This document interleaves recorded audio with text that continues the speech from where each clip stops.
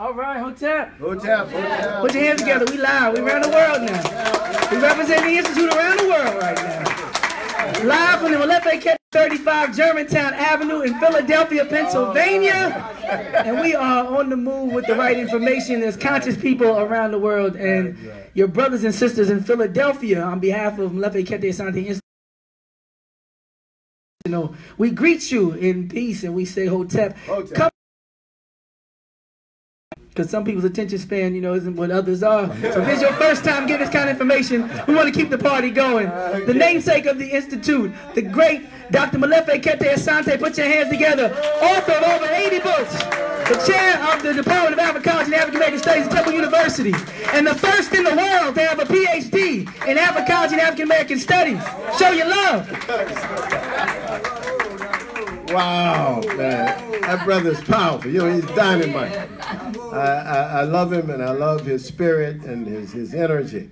And they, they, they, they told me already that uh, earlier this morning that he just really turned the place out. I mean, that's, that's him.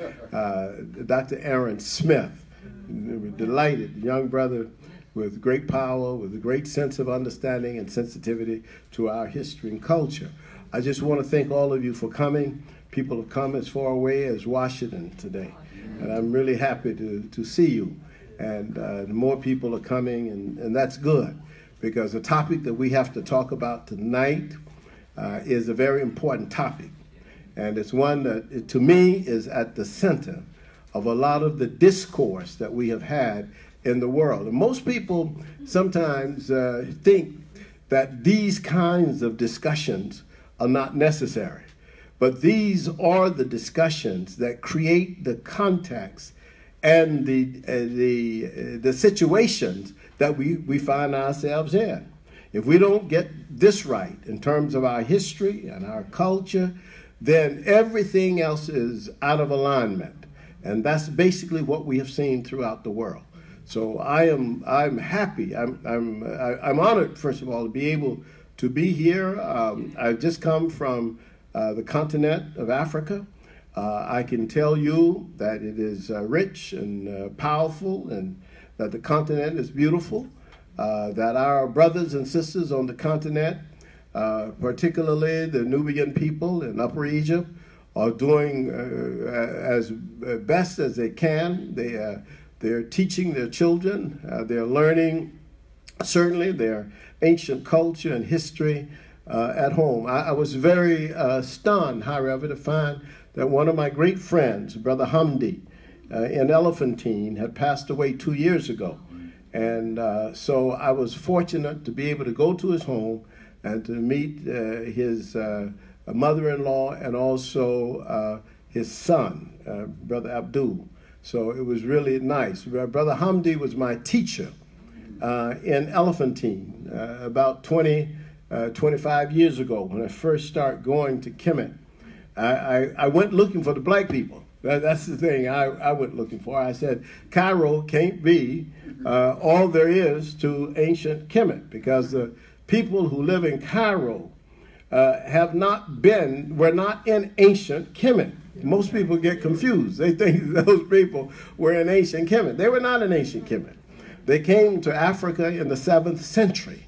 Uh, this era, not, not even seventh century BC, seventh century this side, you see. So uh, when you understand that, then you can understand why it took so long for certain things to happen with our ancient culture in, in, in Kemet and in, uh, in, in Nubia. Uh, actually, uh, it was uh, like around the 19th century, the 1800s, that we began to get some interest in preservation of Nile Valley civilization, even though the Arabs had already been there since the 7th century. And they, they had no interest in that preservation.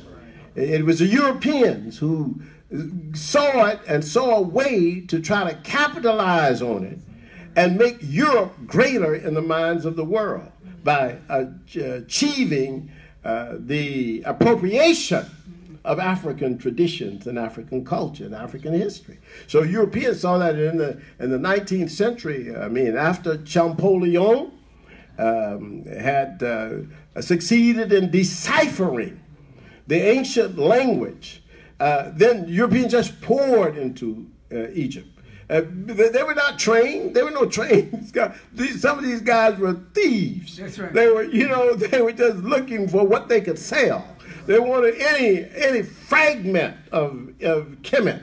They could take it and sell it to a museum in Chicago or Berlin or Paris or something. They they were thieves, and these thieves who came into Africa uh, and into uh, Egypt and the Nile Valley later uh, became known as Egyptologists. They, they, they became the scholars. These, these thieves, the guys who, who were looking for as much as they could of the ancient African civilization.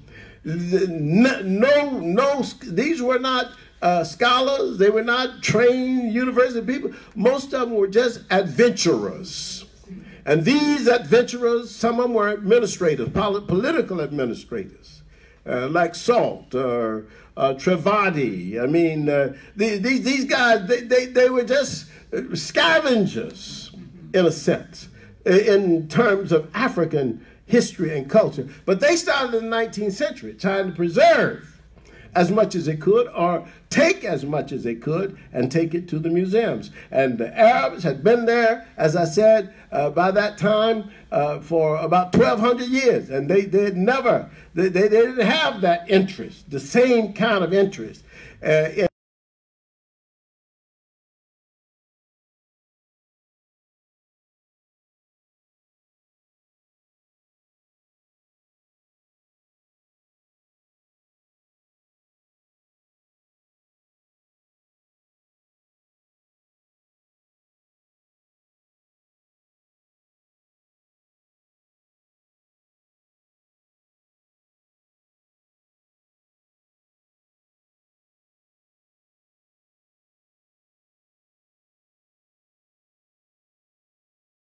nothing to do with uh, Islam and with uh, with with their culture, and so they want they shouldn't. Why should black people be going to the Nile Valley, looking at the temples and and looking at the pyramids and so on? This is pagan and so forth. So you got you got those attitudes, and those attitudes are rampant, not just among Arab people, but among African people.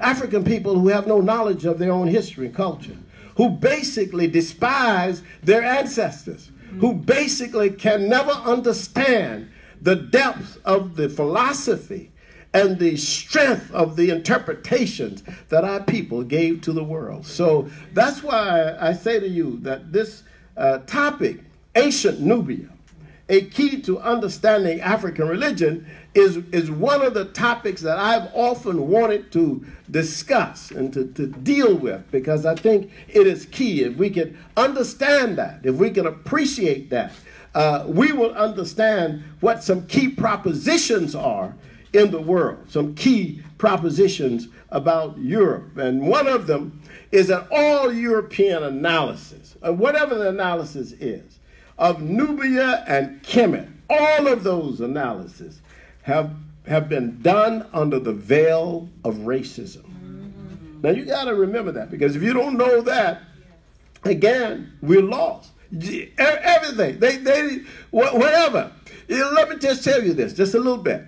Before Champollion uh, had uh, succeeded in deciphering the ancient language of Kemet, the uh, white people had all kinds of fanciful, Europeans had all kinds of fanciful uh, descriptions of what the ancient language said. And most of that fanciful language that they, uh, they say, you know, they would look at the uh, so called hieroglyphics. We don't like to use the word hieroglyphics, which means sacred carvings, it's a Greek word. Uh, we, we say Chicam, or the language of Kemet, or either we say Medu Neter, which is the description, which means the divine words. Uh, but uh, they looked at the uh, Chicam, and when they looked at the Chicam, they they just they just made up uh, uh, interpretations that benefited Europe. You know, it's like it's like you know you oh this, what they were saying here is glory to the white man. So all kinds of crazy stuff. They just made it up.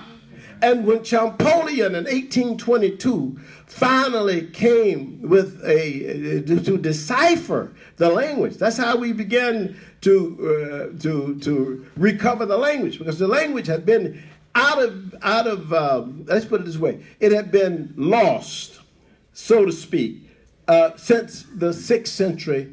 Um, uh, since the sixth century, and that's when the Christians closed down the last temple uh, in, in Nubia. And they closed down the last temple in Nubia uh, in uh, around 575. And this was the temple of Pazurk, uh, Pazurk, uh, which is called uh, in the Greek language Philae.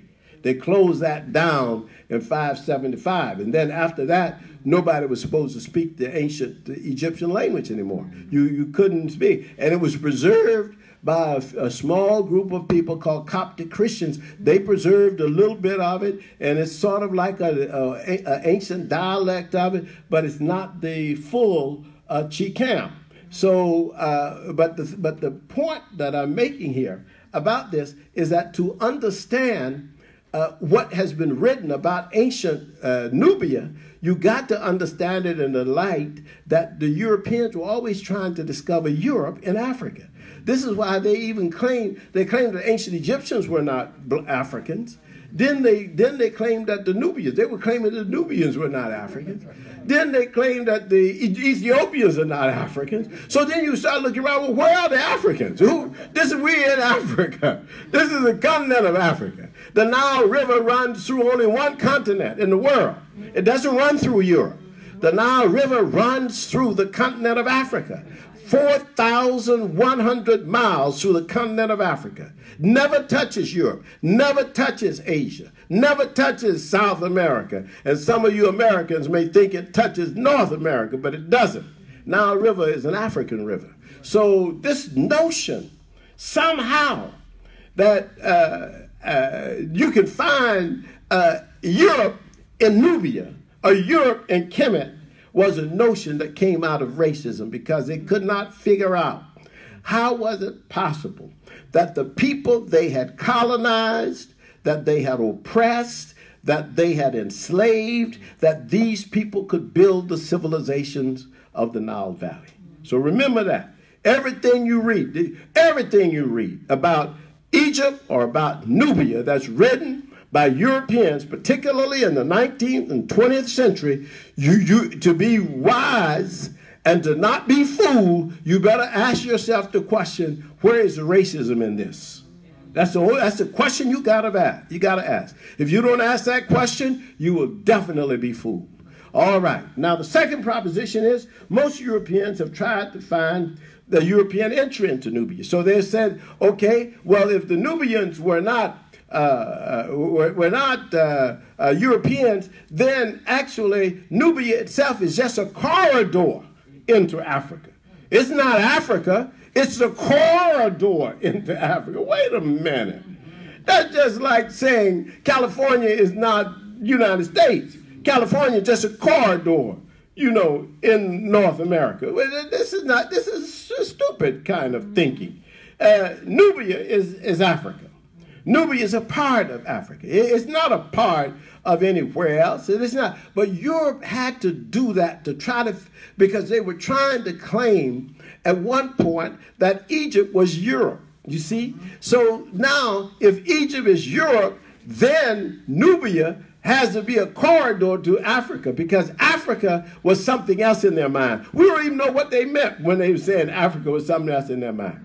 You, you know, it's a very strange thing what Europe tried to do because there's no one uh, way that Africans look. There's no one, one uh, type of African people. Africa is the most diverse continent on the face of the earth. There are 3,000 languages spoken on the continent of Africa. This is almost half of all the languages spoken in the world. Africa is diverse. There are all kinds of people. Look all kinds of ways in Africa. There's no one way that African people look. I mean, you can't make you know argument like that. Like, like somehow this is this is not Africa, but there's a corridor to Africa. You can go to the tip of uh, uh, South Africa and you can find the Khoi people. And, and the Khoury people uh, are about the same complexion as the people of Morocco. So you, you, how, you can't even go by color. You, you can't go by hair. You can't get none of that. You, you can't even go by nose, you know. You can't go by Africa. Come on. You just look at this room and see the diversity of African people. We, we're diverse people. We, we are, in a sense, the quintessential human beings in the sense that we have all types of people, all types of looks, all types of hair and complexion and eye color among African people. That's the African people. So the continent of Africa has given birth to all of this. So that's that's the second proposition. The third proposition is that Nubia, Ethiopia, and, and many some people have argued that you put those two together. But there's another argument. We can talk about that later. That Nubia, Ethiopia, uh, really is the mother of Kemet. Because you know we like we like to talk about Kemet. I love Kemet. I I I, um, I was just talking to Dr. Maulana Karenga yesterday, and I was telling him about following the uh, Chicago uh, uh, uh correspondence course on um, on uh, uh, on on Chicam. And uh, we were just talking about it, and I was saying we like to talk about Kemet because we have more evidence. You know, Kemet left so many records. That's why we know so much about it. And so we say we start with Kemet, and we also start with it because writing starts with uh, Kemet. The first writing in the world is the writing that the a- African people in Kemet uh, did.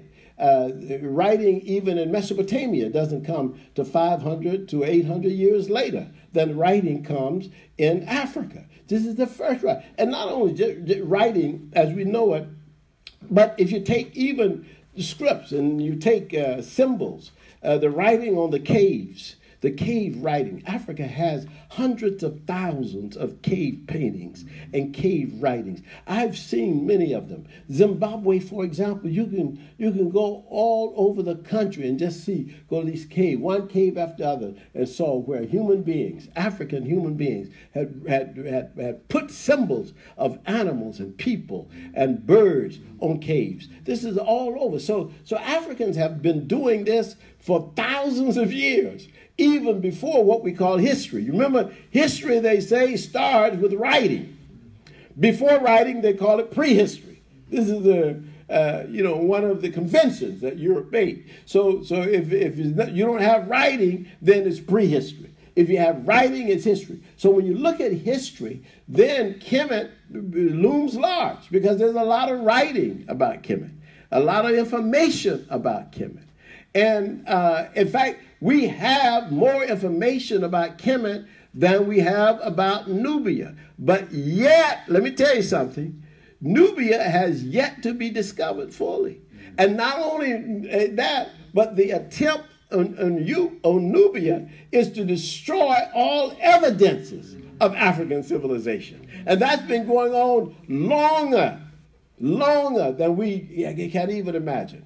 The whole idea, because let me just tell y'all something. This, I'm, I'm you know that you, you most of y'all here at MKA Institute, y'all know this, but a lot of people in the world don't know. There are more temples, pyramid temple type temples, in Nubia than in Egypt, in Kemet. Did y'all know that? Oh, of course, y'all know. Y'all, y'all, y'all here at the institute. Y'all hear, hear Dr. Aaron all the time. Okay, so, but so, so it's important to know this because otherwise you, you, you get a wrong impression of what African history is. That in what is today Sudan, and remember, we, these boundaries that we have now, these are these are this is fake news. these, are, these are these are these are fake boundaries. Who, who, who set the boundary? Uh, you know, uh, right here at Abu Simbel, just a few miles south of Abu Simbel. Then we're gonna say this is no longer this. This is this is Sudan. That's Egypt and all that kind of thing. That's we it, uh, uh, three four thousand years ago. Our, our people set those kind of no. These are modern borders. These more, you can't even go by that. You can't even say, like we say, you know, we, we say, well, you know, uh, Nubia is now a part of Sudan and a part of Egypt.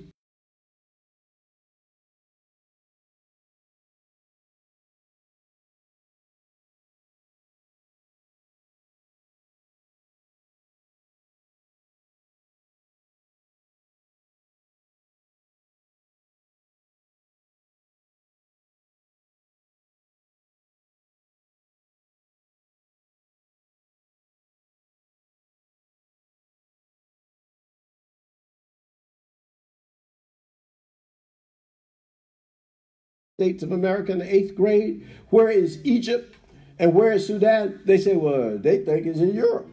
They even think Nubia is in Europe because they think of the civilization, you see, and so forth. And that's why they think of it. But, brothers and sisters, let me tell you something that they discovered in Sudan, in the Nubian area at Qustul, an incense burner. An incense burner. Now, this incense burner is like almost 5,000 years old. This is a, this is like it's like somewhere you you know you you burn you put a piece of incense in and you burn it and you make you, now you we have stick incense, but they used to just have you know the, the little stone incense you you and and they burn. This incense burner was discovered to be uh, found 3,200 years before Jesus Christ. Jesus Christ, Jesus Christ wasn't even thought about. Nobody was thinking about him. 30, nobody was thinking about Muhammad. 3,200 years BC in Nubia, they have at Qustul an incense burner. Now, let me tell you what's on the incense burner. There's a picture of a cat, there's a picture of an antelope, there's a picture of a ruler like a king, the, the, the king is wearing a white crown, the white crown of Nubia and Upper Egypt. And then there's a, a prisoner, and then there's a facade of a palace. You said he's kneeling now? Kneeling. Like? Yes, yes. Woo! Kneeling. Just like Kaepernick.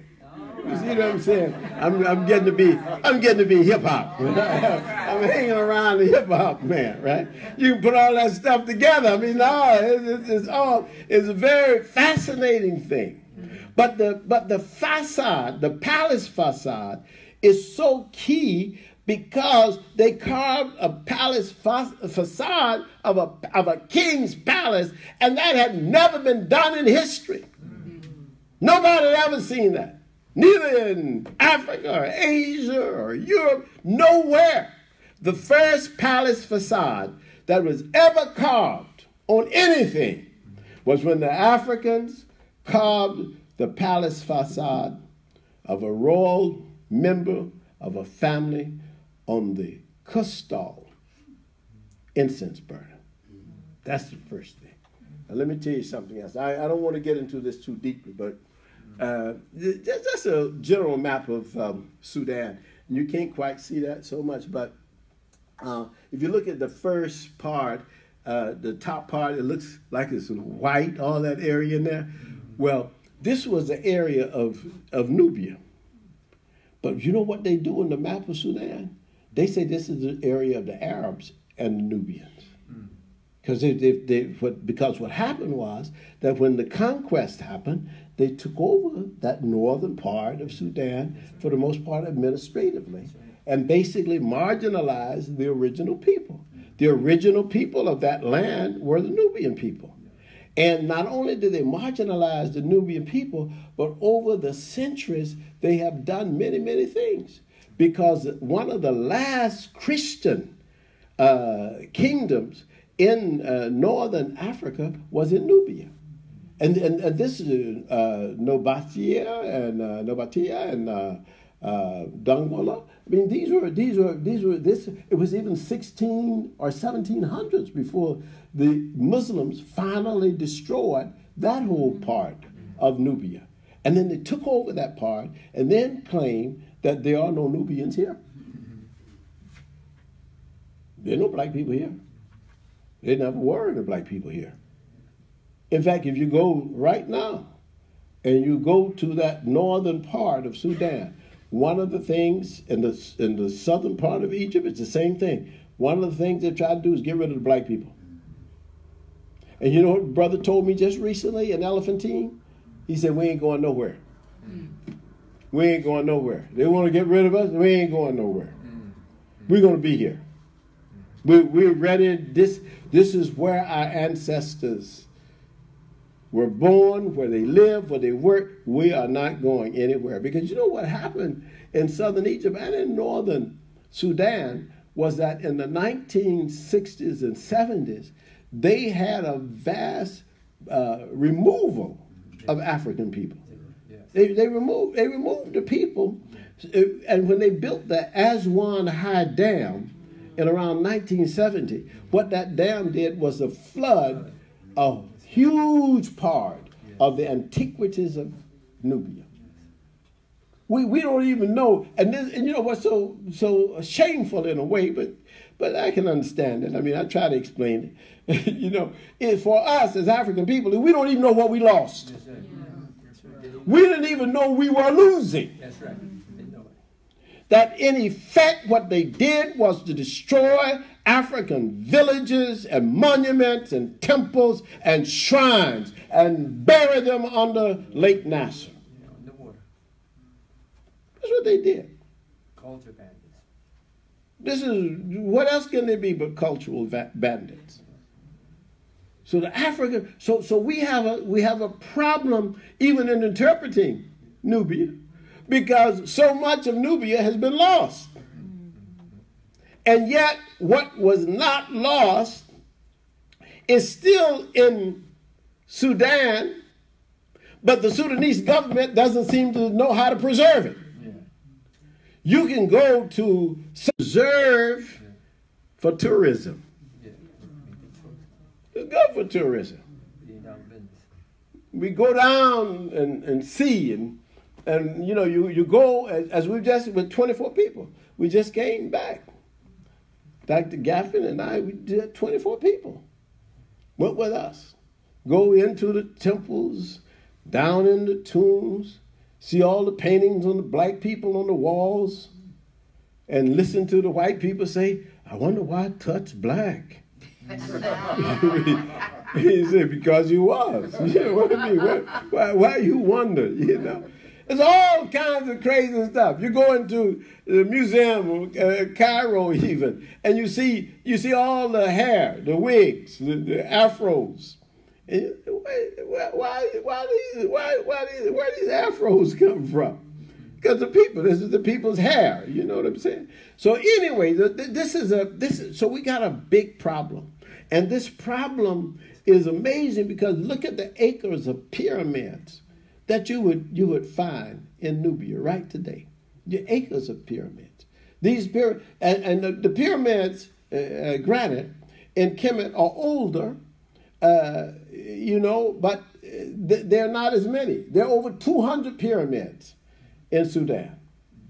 And these 200 pyramids, I'm telling you, that very few of them are under full reconstruction, like the ones in Egypt have been under for years. The different uh, uh, governments of Germany and France and United States universities like Chicago and uh, these universities going in and say we're going to restore this. There is also the ASA uh, uh, restoration project that Tony Browder is working uh, with the, the Russian uh, scholar Pischikova. they're working to actually restore the tomb of Karakhamun.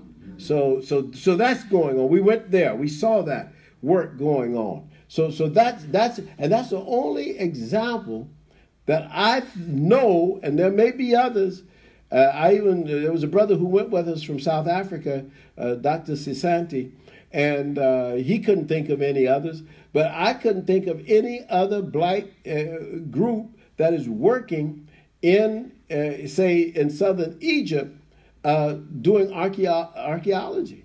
The only one I know of is this one that is really a joint project uh, between uh, this Russian woman, Elena Pischikova, and uh, Anthony Browder. That's the only one I know. So, so it's very fascinating how the story of Africa is being positioned and how it's being told. Because it's not being told from an Afrocentric point of view. It's rare. And so that's why we have to do it. So, uh, Cheikh Anta Diop. In, in 1980, he's reading one of my books. And uh, this is a little book I, I gave to him and went by to see him at his office in Dakar. And I just put his picture here because he's important. He's dead now. He died in 86, but he was, a, he was one of our great scholars, and he was the one who pointed us to the Nile Valley civilization because his argument was that civilization in the world starts with the Nile Valley. Nowhere else. This is fundamental. All right. So Nubia, from Aswan to Meroe. Uh, most people have never heard of Jebel Barkal.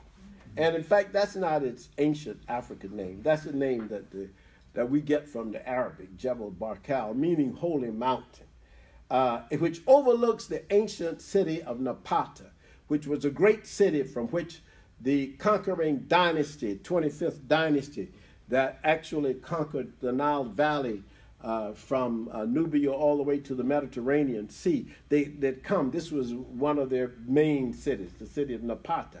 But Jebel Barkal is one of the great religious sites in the world. It is larger than any other site that I can think of except Karnak, the temple at Karnak. It is basically, some people used to call it the southern Ipet Sut. Uh, Ipet Sut was the ancient name of that great temple uh, in Karnak, and, and what is called, we call it now Karnak. That's the, the Arab uh, term, but uh, the Africans call it Ipet Sut. Sut, the, the great holy site in Waset, which today is called, this is, they change the names on you, confusion. The, the, the, the name, the, what, what's the name of Waset today? Anybody? Luxor. Luxor. See, they changed it to Luxor. The, the, the, Arabs changed it to Luxor. But, it, but the Greeks had another name for it. Thebes. So, so you got so you got the African name of the city was Waset. The Greeks, when they ruled, they changed it to Thebes, and the Arabs, when they came to power, called it Luxor. But the ancient Africans in Waset called the temple Ipet Sut. And so this sacred of sacreds, this sacred place, had, a, a, in a sense, a twin which was in the south, called uh, which we call now Jebel Barkal. And, and, both of these temples, these were major temples, you see. So uh, Thutmose III, uh, the great conquering king, the greatest conqueror in the history of the world. No conqueror, and remember this, African people start thinking and reading and writing and learning and understanding the world. No conqueror in the world was as great as Thutmosis III. Thutmosis III, 17 military campaigns that he led personally into battle and came back alive. No other king ever did that. Closest we get is Alexander the Greek, who did seven. 17 times. Thutmose III. So in 1450, he's he's he's in uh, he's in uh, Nubia and he links Jebel Barkal to Waset. To these Napata uh, and also Waset. These are the great cities of the kingdom. And there's a book by Miriam Maat Kare Monges. She was the first African American that I know of who ever wrote a book about Kush itself, Nubia itself. And her book is called uh, uh, uh, Kush, the Jewel of Nubia. And this book was based on her dissertation. She was the first first black American that I know of to take this on. She said, We've got to reclaim Kush. We've reclaimed Kemet, but we've got to reclaim Kush. So if you get a chance, that book is still on Amazon.com. Kush, the jewel of Nubia. Now, other map, I just want to show you this little map quickly of Sudan so that you can see uh, the you can see at the bottom here you can see um, actually Abu Simbel. You can see Abu Simbel uh, at the bottom of Egypt, and then you can see Wadi Halfa, and then you can see also that lake, Lake Nasser, which uh, is uh, uh, I think the Lake Nubia in um, Sudan. If I'm wrong, I think I got uh, some Sudanese in the audience who could correct me, but I think it's called Lake Nubia. But I know it's Lake Nasser in, in Egypt, right? And, and Nasser was the leader of Egypt that built the high dam that caused this, but it flooded lots of things. Now, where I'm getting to in a minute, you will see where we have the key to understanding uh, African religion, but but but I just wanted you to remember, just look at this map and see the northern part there, and you can see uh, the larger part coming from uh, Egypt into uh, Sudan, where you have it looks like the river gets larger. It's, it's it's a massive lake, one of the largest lakes, maybe the largest man-made lake in the world. Is that lake, Lake Nasser, Lake Nubia? Okay, um, it's more than 250 miles long, it's massive, and it destroyed so much of Nubian civilization. Okay, now, uh, we say that it's possible that the oldest monument ever made by human beings was uh, Heru Im Akhet. This is called Har Im Akhet by some people meaning Horus or uh, Heru, Horus, uh, Horus of the horizon. This was the Sphinx. The Greeks call it Sphinx. That was not an African word. As we call it uh, Heru im Akhet.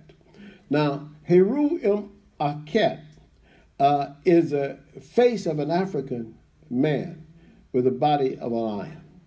And uh, some people think it was built uh, in the Old Kingdom uh, maybe in uh, 20, 26, 25 uh, BC. But there are other people uh, who think that it was built maybe even longer than that, 14,000 years old. And I just give that to you as an example. There's some things I'm giving as examples so you can understand. Four Nubian temples, not and Sphinx is not in Nubia. Uh, Sphinx is in Kemet. But four Nubian temples were given to Europe by the Egyptian government in the 1960s and 70s. And look at this now. You probably never heard of some of these temples. The Temple of Tafa was given to the Netherlands, and it's in Leiden right now. If you're in Leiden and you're listening to me, you can go to the museum and you can see it. Uh, the Temple of Lissa was given uh, by uh, was given to Italy, and it's in Turin. You can go and see it. And it was built by Thutmosis III. The Temple of Dabu was given to Spain and the Royal Palace of Madrid. That's where it's now. These are just a few of them. And then uh, the Gates of Kalabsha was given to the Berlin Museum.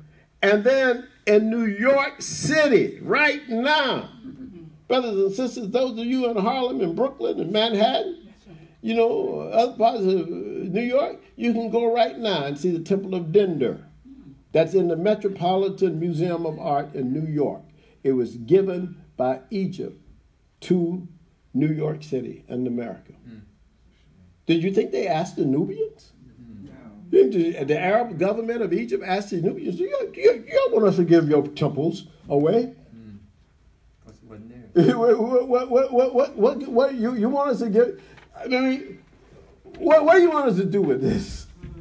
They never had a thought. They never thought about it. They never, there was nothing ever in the mind of the government that really went and asked the people of Nubia about this. In fact, what they did was they removed, they moved the Nubian people. They moved them, literally. Some people they moved 800 miles away from where they were. They moved, they moved them to the desert.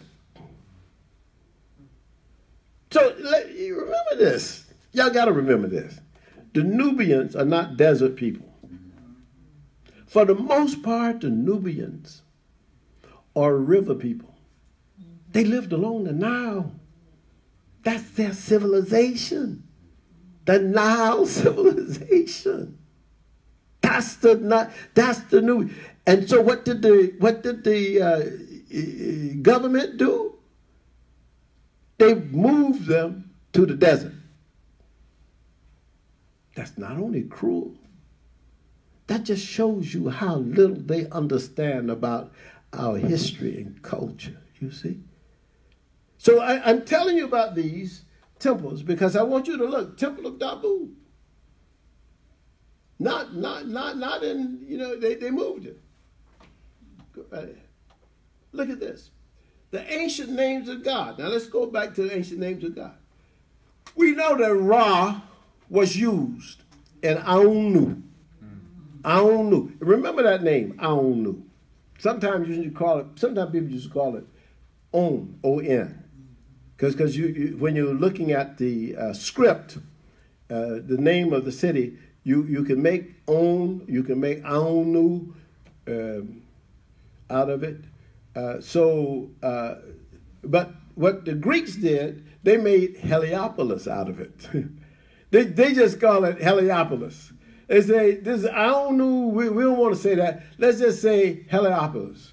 Because Ra was the god uh, that was like the sun, was as massive and, and, and comprehensive as the sun. So it's so they said Ra, since Ra is the sun god, uh, this is the city of Heliopolis, city of the sun. But the Africans call it Aun. All right? That's the city of that's the city where Ra. That's the city of Ra.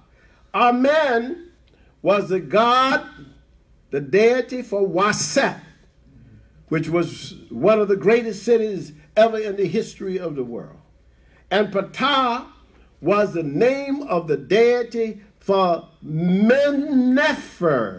Menefer used to be called by the Greeks Memphis. That's where you get Memphis, Tennessee from. You know, if the white people knew that the word Memphis, Tennessee came from Africa, them white people down there near Mississippi and Memphis, they would be shocked. That their, that their name, Memphis, is actually an African, come from an African word. Menefer. You see? This is the, that's that's where it can, and the Greeks just took the African word and changed it to Memphis. You see, that's what they did. A lot of a lot of the names of African names they, they changed like that, and then uh, the deity Atum, uh, uh, and sometimes uh, Mandulis uh, were worshipped at uh, Jebel Barkal. All right, next slide here. now, I'm just going to just mention this. Uh, the name Amen is probably one of the oldest names for God anywhere. This is why I tell people they say Amen at the end of Christian prayers, Hebrew prayers, Muslim prayers. They say Amen. Amen. Amen. Amun. Whatever. They just say it, right? Because it's an ancient name for God. It's an African name. The ancient African name for God. Amen. That, that's what it is. And so everybody want to make sure they have insurance. So that's why at the end of their prayers they say it. You, y'all said, I know, I know, y'all just said it today. Amen. Amen. Right? That's right. Oh, you make sure I name the, the African God because if I don't, I may be in trouble. You see? Amen. So, so Amen. This is a ancient name. And then there was a name uh, for um, many, some of the queens of Nubia, like uh. You know, Amen. And it comes from that. Uh, Amanishaketi, you see. Amun Ra. The word, even in Kiswahili, Imani. Hey, it comes from God. Amen. It's the same name, same root, you see. So, so when we understand that, we understand a lot about ourselves. But uh, the temples of Nubia, I'm just go through this quickly. Uh, Philae was a temple, and I was just there last week. Uh, the, this was a temple where uh, uh, the deity Auset was worshipped, Auset, and also Heru, uh, her son, Horus, as the Greeks said. then Kalabsha, which is also Nubian, these are Nubian temples uh, where Heru was worshipped. And then Abu Simbel, where Amun Ra, Ptah, Atum, and Ramses himself were worshipped as gods. And uh, then Dendur, the one that's in New York City, uh, where Auset, uh, that the Greeks call Isis, it was worshipped. And Padesi and Pihor, who were the sons of the local Nubian king. They were worshiping Osa and Oset. Uh, then the temple of um, Solab. Let me just see if I can on the side temple. Can you move that down? Okay, we can move that. There's a there's a temple. Yeah, there it is. This way. Can you hit that one? Yeah. Okay. This is temp- this is uh I think we pronounce that Solab. Solab. This is Temple of Solab. This brother right back there was born not far from there. Brother, raise your hand, Brother Nubitu. Brother Nubitu. That's where his people. That's his old history, culture. He was born a few miles from there, right? So this is, but but this is a, but but I, I give you this because it's a real thing. This whole notion of uh, Nubia and the history and culture of Nubia is so rich, and yet that temple at Solab is is not as protected as it ought to be. Somebody just wrote last month that they just walked, they just drove there, got out of the car, walked right up there and picked up rocks and stones. you know, like, wait a minute. You can't do that anywhere in Egypt, in any monument. But in Sudan you can, because they don't give a damn about it. It's, it's not their culture the ones who rule the country. It's, it's, it's, it's the culture of the people who live there, but they don't have the power and they don't have the international reach to demand that people respect their history and their culture. No other people in the world have allowed their culture to be so diminished as we African people. It's a very, very tragic thing. Then there's the Temple of Tafar. That's what it looks like in the Netherlands, you see. And uh, here's the key ideas behind the religion. Key ideas Ma'at, Isfet, Makaru, Neb-Ankh, and Ankh-Nehe. And I'll tell you quickly what this is. Ma'at simply is order, balance, harmony. And out of that, you get truth, righteousness, justice, and reciprocity. That's the basic idea of ancient Nubian religion and the basic of, of the Kemet. This is the basic idea. It's the same. That's why it's a continuum. You you know people people do some silly stuff, and I, I just had to correct a guide over in Kemet the other day because about this because they do this. They they see a, a, a, a they see a image on the wall of a temple, for example, with Ramses uh, defeating his enemies, and some of the enemies look like uh, black people, and some of them look like Syrians, and uh, and they they make a difference. They make a distinction. Say, we knew the ancient Egyptians, they were these these uh, these uh, Nubians were not the same as the Egyptians, uh, when in fact they were the same people. It's just like, okay, the French and the Germans could be in a battle, but you don't say that they just they're different races. They're, they're just different nations. The Nubians were a different nation than Kemet, but it was not like somehow they, these are different people and we, we got to defeat. No, no, no. They're the same people. The Germans took over France and, and Paris during World War II. No, nobody said that they were a different race. They, they were a different nation and, and they had a military strategy and so forth. So so when we look at that, we have to always that's why I tell you, if you look at it through racist eyes, like the Europeans who first wrote about it, that's what they said. Oh, well, these people were Africans and Egyptians didn't like them because they were black. Well, the Egyptians were black themselves. That's no, that's a stupid kind of statement. You know, the, the, the, the, the Germans took over the French. They didn't like them because, you know, uh, the, the Germans were white and the French were not. I mean, no, that's not, that's stupid. But that's the kind of reasoning racism gives you. And Europe is good at that because Europe always wants to establish the notion of European exclusivity and European uniqueness, you see. But when they discover the Nile Valley civilizations, which are greater than the civilization of Rome and Greece combined, they don't know what to do with it. How, where do you place this kind of civilization? Where do you place 200 pyramids? How you put that in civilization and not be in Europe? They don't know how to figure that.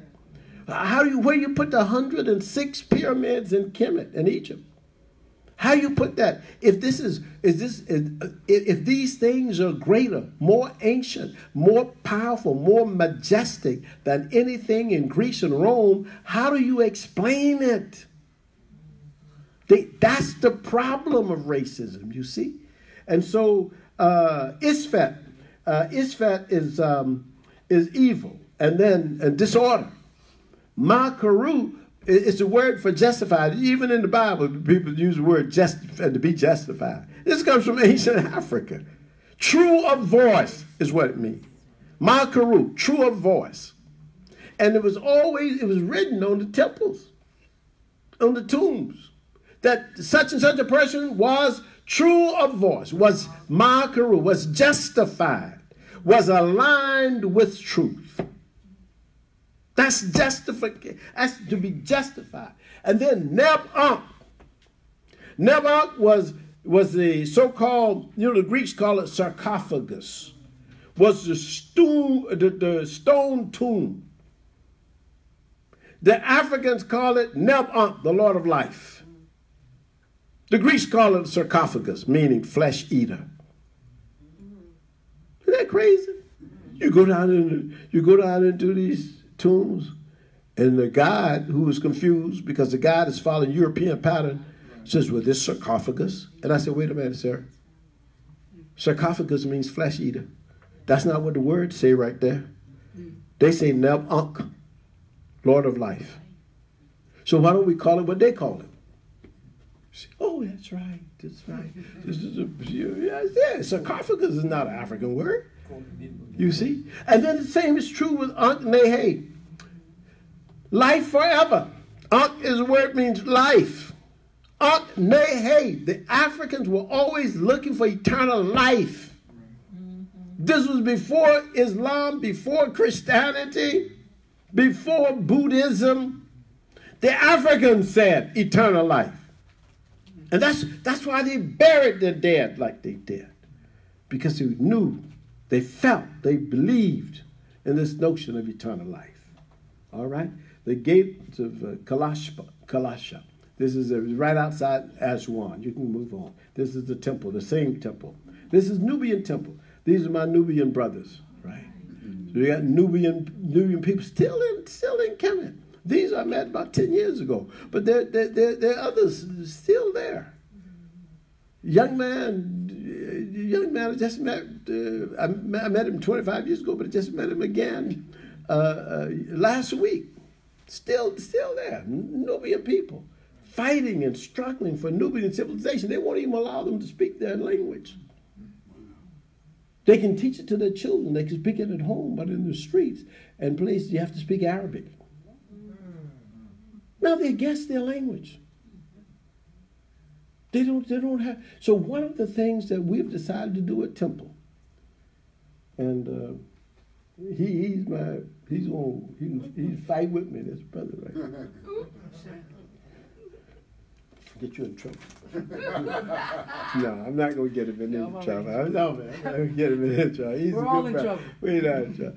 No, no, but no, but one of the things we do, we, we're going to have this brother right here, brother, mm-hmm. brother Nubintu. Nubintu, stand up a little bit right here. This brother Nubintu, this brother is a scholar in the Nubian, Nubian language. We're going to have him teaching at Temple the Nubian language. Yeah. Thank you, man. Thank you, brother. So you, you know you can y'all can huh January y'all can sign up for his class. Nubian, the first time in a university that Nubian is being taught like this. We're gonna do it because we have to. It's essential. If you learn contemporary, even the contemporary Nubian, it will help you gain some access into ancient Nubian. So you got teach a pass it. No, he's teaching in, in teaching temple. Yes, yes, in African American studies. That's right. So look out for it. Introduction to Nubian, right? Because we already teach ancient Egypt. We teach. I wrote this course maybe in 1993 or four. a course on um, uh, ancient Egyptian language, Middle Egyptian. We teach Middle Egyptian. Um, we, we teach that. We've been teaching that for years. Uh, and the last person to teach it was Dr. who said, I'll probably teach it next year. But, but we teach that because it's essential that we know our classical languages. Because once you know the classical languages, it makes it easier for you to know a lot of other African languages. It's just like, um, you know how the Europeans learn Latin and they learn uh, uh, uh, Greek? They, they learn those two languages because those languages give you insight into other European languages. You, you can know something by knowing what the classical languages were and what those, you can even make out certain words by knowing what the Latin was or what the Greek was, you see. So, okay, now uh, this is again, uh, just to show you, uh, this is the Temple of Dendur, all right? Uh, the oldest evidence of religion in Nubia goes back beyond 6,000 BC, all right? Uh, and we don't need to get into it, but all the funerary traditions and so on. Um, the whole notion of Atum uh, with water and the mound uh, create and establish a Shu and Tefnut, Geb and nut, Auset and all, all saw uh, Nebhet and Set. That's all there. I just want to show you this, brother, just for a quick minute, because as I was writing this and getting my notes together, I got word that this great brother passed away. Mm-hmm. He he was my good friend. He's been in Philadelphia. Uh, his his daughter finished uh, uh, Temple and uh, Villanova Law School. Uh, his, his, name was Atukwei Okai. Atukwei Okai was the mayor of the city of Accra in Ghana at one time. But beyond that, he was uh, one of the poets, uh, one of the great poets. The, the, he's the national poet of Ghana, and most people call him the greatest poet, uh, African poet. And uh, uh, Tukwa Akai introduced me to Winnie Mandela. He also was a gentleman who uh, was uh, sent to school in Moscow by uh, Kwame Nkrumah and became a, a, very great poet, one of the greatest I've ever known. So I just wanted to dedicate this to him, and we're going to finish here. Uh, Jebel Barkal, the, the holy mountain, and I told you be, beyond that was the city of Napata. Uh, and uh, let's go to the next one. Uh, ancient Nubians invented the representation of deities in animal and human forms. This was this was even before in in Kemet. The, the, the, the, the Nubians did this, all right? And uh, this is some of the pyramids. You can go, you can see this, you see? Um, and the next, we did talk about Ma'at, uh, Amen in Kush, the temple of Defufa in Kerma, uh, 1600 BC. And here, uh, Amen, again, the ram headed creator God is, is, is worship, all right? Go to the next. Uh, the principles of Nubian life. Not faith, it's not a faith tradition, but a life tradition. This is different.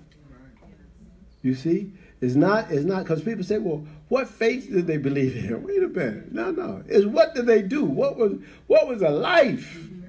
What did they live every day? Somebody asked me this on the trip. You know, African American said, Dr. Simon, what's your religion? I said, my religion is African. They said, well, what faith is that?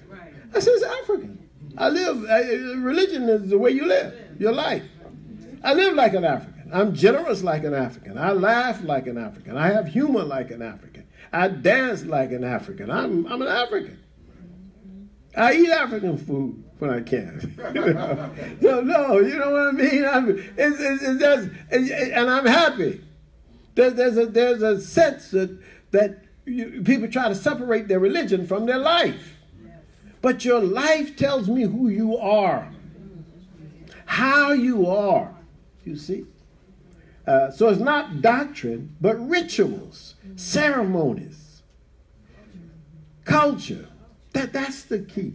Not simply about males, but, but female presence. This is why Nubia had 42 queens.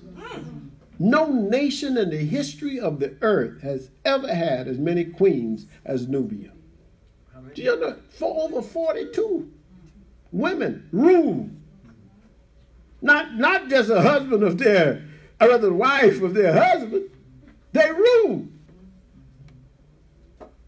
Now, you, you can't do that now in Sudan.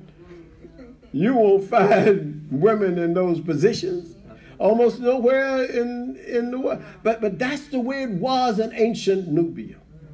Because Africans understood the principle of male and female. They were clear in that. People didn't have hang ups. They didn't feel like they had to suppress the woman. They didn't have, that was not there, you see. Many of those temples in Nubia were built for queens, you see. All right? Respect for ecology. That's why they had the totem idea. Certain things you can't eat. Because if you ate them all, then you destroy everything. You can't, can't eat them. And you got to have respect for age groups and the age. And in the end of your life, your heart must be lighter than a feather. My, your, your, your heart should be light than a feather. It, it didn't say, and what I always like to tell people this, it didn't say you have to be perfect. Say your heart had to be lighter than a feather. Your good must outweigh your evil. That's that's that that's reasonable to me. That's why I try to be good every day. You know? But I'm not perfect. You know, and that's that's that was a fundamental difference, you see. That's the key to this. So my Maa Kheru, be true of voice, words are right, be justified. All right? And then I give you two pictures. One at Abu Simbel. Abu Simbel. This is the Abu Simbel. Uh, if you Abu Simbel, uh, go back to Abu Simbel, please. Abu Simbel. Abu Simbel is this temple that uh, Ramses II, Usamad Ra. We always do a ritual when we go there. We did it last week. And we go Usamad Ra. Ra. Satepim Ra. We, we, we give Usamad Ra Satepin Ra. Is the, the, the Heru name for Ramses. You see?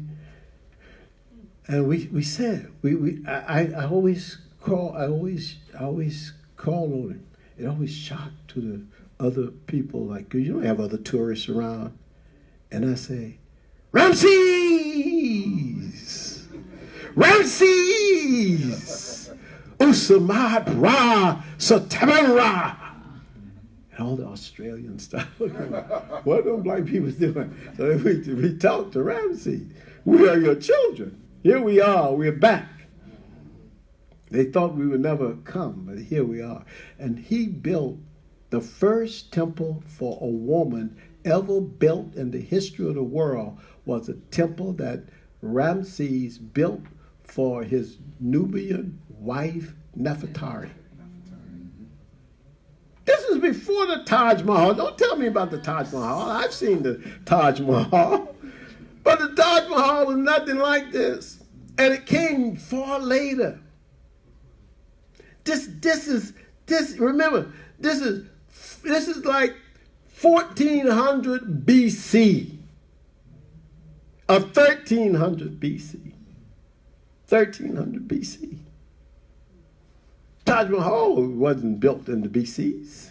You see? It was built this era. So, so, so here's the first temple ever built by a man for a woman, and it's a black man building the temple for a black woman. Never, never, ever, and nowhere else in history. Earlier than this. That's the respect he had for Nefertari. Meaning the beautiful, the most beautiful among them all. So it's an inc- incredible story. And then the last slide here is just an image of a pharaoh, a sphinx head of a pharaoh with the nemes headdress on. And this is all Nubian.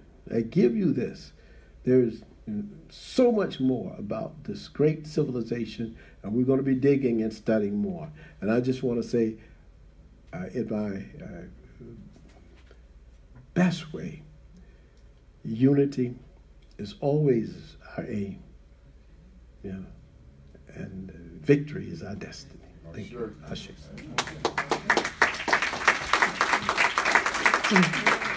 You can do better than that. Put your hands together. I'm going to let that something. All right. We got time for some question and answer? Just to um, facilitate properly, it's called question and answer.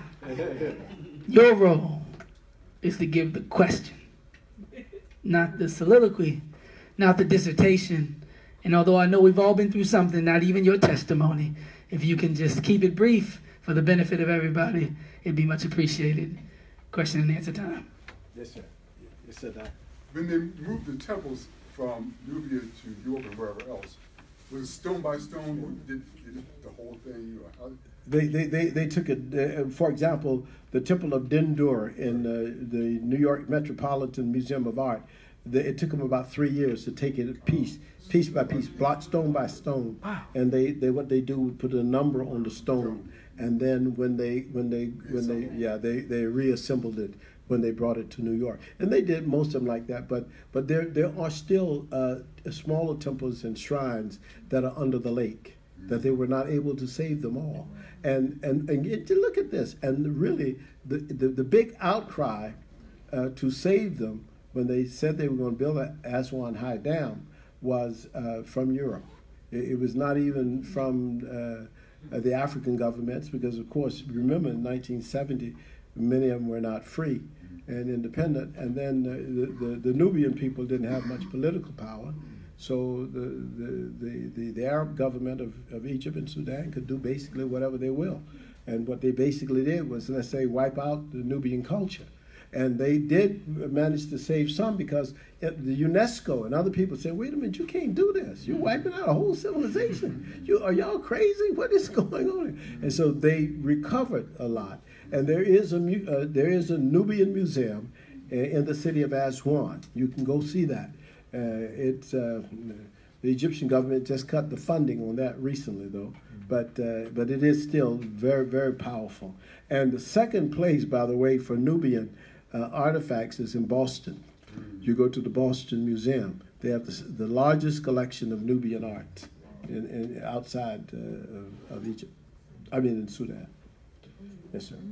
Um, I have a problem with the word sub-Saharan. Can you tell me? Exactly yeah, I, did I use that word? No, no. I didn't. No. I never use that word. I agree with you. What, what, yeah, you never use the word sub-Saharan. That don't make make any sense anyway. There's no Africa uh, south of the Sahara. The, the, Sahara is Africa. I mean, what, what is that talking about? I have never understood that. And not only, as I told people, Africans uh, live in the Sahara in many places, and uh, I just saw Africans uh, last week uh, riding camels and racing camels. So uh, Africans cross the desert in, on camels. So it's not a no. It's not a. There's no such thing as sub-Saharan. That that word was created again by. That's what I told you about. You have to look at racism. Every interpretation is race. It, the Europeans are very slick. There, there's no such thing as sub-Saharan Africa. I mean, basically, uh, all of Africa is Africa. I mean, you know, I mean, you know that that that that's crazy. You know, it's like uh, it's like saying um, there's a there's there's a Europe that is uh, you could say it's south of the Alps or something like that, but but but when you look at it, you, it's all Europe. I mean, it's all the desert is Africa. So you're right. Don't use the word sub-Saharan Africa. Just use Africa. If you want to name a country, name it Chad or Niger or Morocco, Algeria, name a country. But they're trying to separate the Nile Valley civilizations away from the rest of the continent, which is also stupid. But anyway, yes, please. Yes, sir. Yeah, I, I got into a debate the other day with some Negroes. Yeah. I was telling them that Europe is not a continent. Right. And I opened up the map and I showed them it's on the continent of Asia. Yeah. And they couldn't see it. Yeah. And, and it, you know, maybe the level of brainwashing has gone up another notch. Yeah. You know, just and, and, that other thing you had mentioned about Amen, it's in the Bible in Revelations three thirteen. Yeah. And Amen is clearly a noun. Yeah, They tell you you're saying amen, which means so be it. right. But clearly a noun. It sure is. Yeah, I remember that. I remember reading that. And you're perfectly correct about Europe. I mean, uh, Europe is a created uh, designation, and and it is uh, it's not normally if you look up definition of continent, it is almost you know you surrounded by water. But you know, so you say Australia is a continent. I mean. Uh, North America, South America. I mean, some of them, you know, it get fuzz a little bit. I mean, Africa. but when you get to Europe, you, you're really talking about, you could say Eurasia, if you make that a continent. But Europe wanted to separate itself from Asia, you see, but uh, and be something unique. They always like to do that. That's Europe, you know. That's the, as I call it, the Donald Trump syndrome. You know, it's like you know, we we we different, you know, and so. We're not like other humans, and that's correct in terms of the way they have treated the world. That's right. But uh, but but this is a very strange thing. So don't don't uh, be don't be surprised that they make a defense of Europe. What they're making a defense of mainly is Christianity, and this came out with the Battle of Poitiers. Uh, the Battle of Poitiers, um, and when uh, Charles uh, Charles Martel um, sort of rallied the European. Uh, uh, uh, ethnic groups together to fight against the Moors.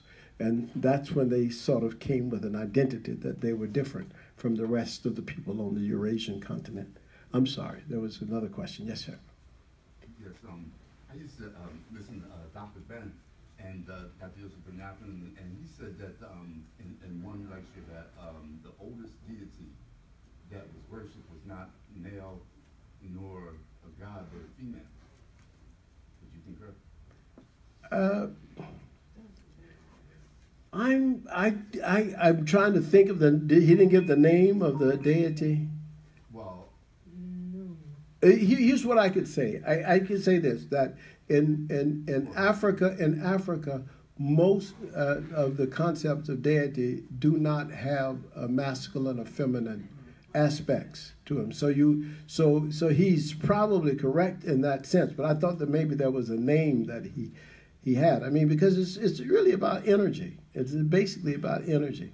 Uh, but there are some elements that that demonstrate uh, masculinity and some that demonstrate femininity. Uh, you can see that in some senses. You see, uh, particularly when when you when you hear the, the the notion of the creation, where the creation was uh, created by semen, for example, which is uh, in a, in a male sense. But but but but but but but for the most part, not just in ancient Kemet, but throughout the continent of Africa, uh, th- this notion of he and she does not appear in the same way as it does in Western languages. Yes, yes please.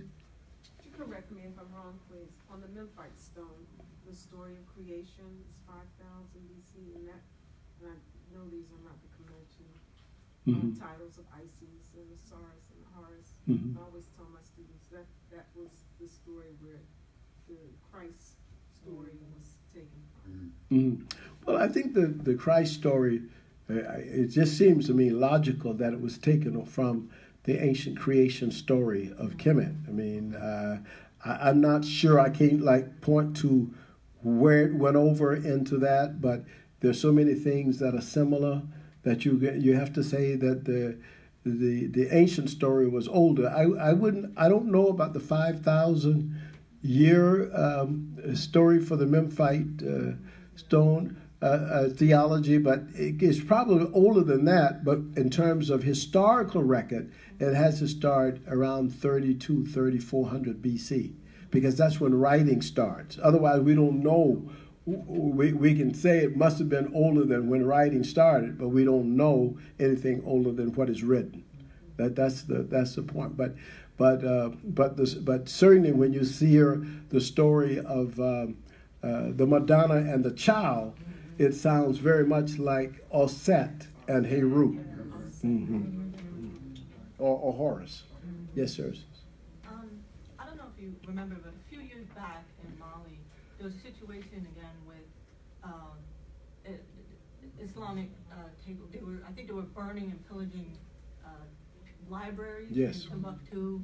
And I wanted to ask you, how can we, in terms uh, of this conversation, preserving our history, we're seeing that it's wiped out, how can we try to um, leverage, you know, keep keeping this information that we have, like in Timbuktu, all of the library, the the uh, Islamic groups were just going through and with, with no repercussion at all. I don't even know what happened to all of these books and all of this information that we have lost. How can we try to leverage? It seems like the European, and again, there could be some racial undertones in their in their agenda behind that. We don't know. Taking these temples and bringing them to Europe, for example. In the preservation of that, there may be other things going on, but is that something we need to consider? Because Uh, in, in, in a lot of Africa, you have Arabs that are in charge of the governments who uh, don't care about this information, and in fact, have a concerted effort possibly to erase this because it doesn't align with the religious um, teachings that, that they practice. So, what can we do to help? You, you've raised a very important question, and it is a significant question because, after all, I mean, uh, the whole meaning in Nigeria of Boko Haram is against any kind of knowledge and preservation of knowledge. Only knowledge is the Quran. So that's a very scary notion when it comes to our history, and that's World why, history. huh? World history. Yeah, but but when you think of, I, I'm always sort of start with Africa because I'm I'm I'm worried. and, in Mali, you start with Mali is a good example. I had a student from Mali who was uh, regretting the fact that in Mali almost no material culture exists. You see, because basically Islam wipes out all your culture because these are images, these stone sculptures, and many of the big African art dealers are from Muslim nations in Africa. And that's because they don't care about them as part of their ancestors. There's not an ancestral heritage. They don't necessarily. I mean, my, my I used to uh, be engaged in purchasing African art many years ago, and my dealer was from Guinea, and he was Muslim, and he that's he just it was business for him. It had nothing to do with what I'm I'm buying because I want to you know the things you see even in here on the wall. These these are some valuable things that they were they were purchased from people sometimes who didn't really care because they just was given away. So here's what we can do. We can honor our ancestors and our traditions, and we can write about the things that we see and know. We have to write. We, if we don't preserve them, even in their materiality, we can preserve them in uh, historical context. We have to do this. We have to be because otherwise, how do you teach your children that you at one time you did something? You know, you at one time you were the leaders in engineering. You you you built pyramids. You know, at one time you you did this. Your people did this. How do you do this in an oppressive society that doesn't want you to express anything about where you came from? So you must honor your ancestors, even in your homes. You must have your shrines, and you must, you know, respect and, and, and have this sense. Um, yeah, I'm very sad about the Timbuktu thing, but they some of the books were preserved. By the way, there was a big story about one person who hid many of the books, and uh, and many and the people who hid ma- uh, some of the books. You have to remember these people were Muslim too. They, they, because most of the people in Mali are Muslims, even the ones who who are who- the ones who are trying to save the books are Muslim, as well as the ones who are trying to destroy them. And in Nigeria, of course, you have the same philosophy, and that's why in the northern part of Nigeria, almost no African, no traces of African art or culture, wiped out, totally wiped out, after you know four or five hundred years of, uh, of Islam, basically, which tells you that the images are wrong. They're you know, you shouldn't have any images, graven images of anything, and so on. So everybody else, the Greeks still have their sculpture from, you know, 200 BC, and our sculptures and all that stuff. Uh, they say we have no culture because we don't have any evidence of it, but it's all wiped out, and it's because again, uh, fanaticism and this whole notion that somehow you get to be purer by getting rid of the materiality that has been created by your by the genius of your ancestors. I, I, I- I reject that. Yes, in the back.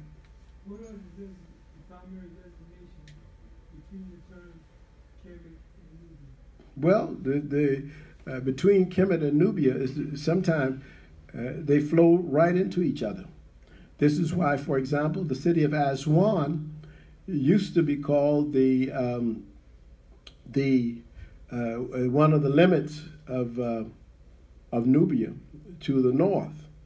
But now some people are saying the limit of Nubia to the north could go all the way up to Kom Ombo in, in, in Egypt. So, uh, which, which make Egypt much shorter, uh, Kemet much shorter, you see. So, uh, I think they, they just flow across the border. They just, borders change.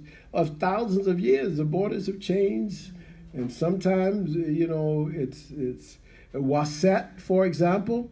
Waset is, um, is north of Aswan, and Waset was, uh, was a, the chief capital, along with Napata, for, uh, for the rulers of uh, several dynasties. Yeah. Okay, one last question, yes. Actually, have two. Okay, Two sure.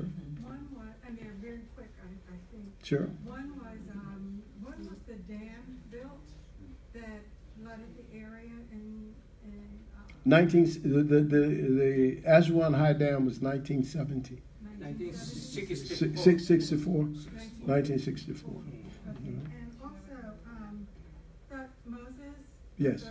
Yes. Um, you were saying that he had so many battles. Yes. What was he battling? He was battling mainly the Syrians, the Hittites, and um, he, he, he fought uh, uh, many battles, and also Nubia as well. He fought Nubia as well. So he, he fought, uh, he, f- uh, he extended the boundaries of Kemet um, deep into uh, Asia uh, and, uh, and also with Nubia. Okay, Mm, You're welcome. Okay, brothers and sisters, thank you. Thank you all so much again. Um, what's the next date? I want to make sure I announce it properly. Um, oh, that's me. I feel like that young sister.